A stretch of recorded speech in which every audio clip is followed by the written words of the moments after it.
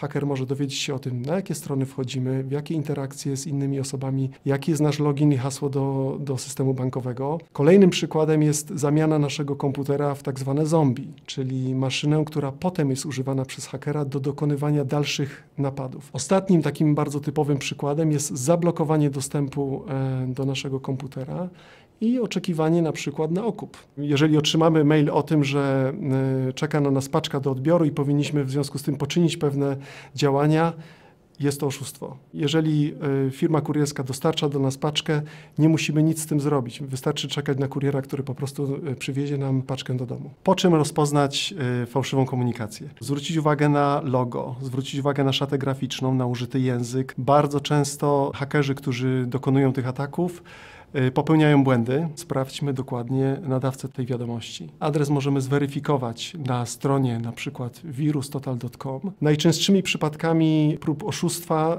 y, padają y, firmy ubezpieczeniowe, bankowe, również kurierskie. Poza tym należy być uważnym. Czyli jeżeli nie braliśmy udziału w konkursie, to nie spodziewajmy się głównej nagrody. Jeżeli jesteśmy pewni, że dany mail jest mailem fałszywym, warto zawiadomić organy ścigania. Jeżeli już otworzyliśmy ten fałszywy mail i nie daj Boże kliknęliśmy w załącznik, należy jak najszybciej odłączyć komputer od internetu. Kolejnym krokiem jest ściągnięcie e, aktualnego oprogramowania antywirusowego na innym komputerze, zainstalowanie go na komputerze zainfekowanym i pełne przeskanowanie komputera. Warto również zaktualizować system operacyjny. Jeżeli to nie pomoże, bardzo często niestety konieczna jest reinstalacja całego systemu, co wiąże się najczęściej z utratą wszystkich danych na komputerze.